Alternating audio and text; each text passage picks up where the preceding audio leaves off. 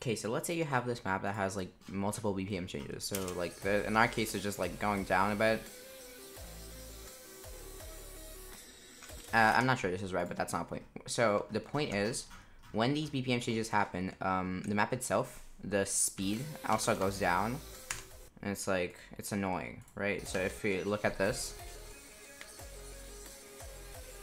it goes down slowly. With that, it, with each BPM change, it just goes down. So, uh, how do you get rid of that? How do you normalize? So first off, you need two things. Um, you need to go to song folder. You need to open this bad boy. Um, you need to go right here to timing point. So you find this.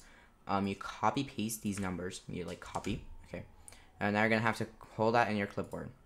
Uh, and then the next thing you're gonna have to do is you're gonna have to go right here, and you're gonna have to look for which BPM um, stays on for the longest. In our case, it's like 180, but if you want to check, definitely, um, it's in these parentheses right here. You uh, remember this BPM. You're gonna have to remember it. So now what you do is you go to this funky little website, okay? Scroll bit down, um, and what you're gonna do. So first off, you're gonna have to put that BPM from your memory, which in our case it was 180, the one in the parentheses. That like should be again, it's right here. Um, if you want it.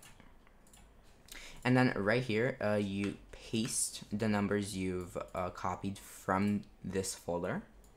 Okay, you got you're gonna have to paste it.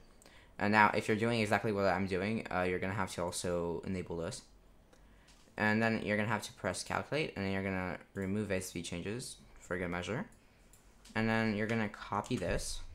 You're gonna select this, and then you're gonna copy. No, you're gonna paste everything into uh, its place.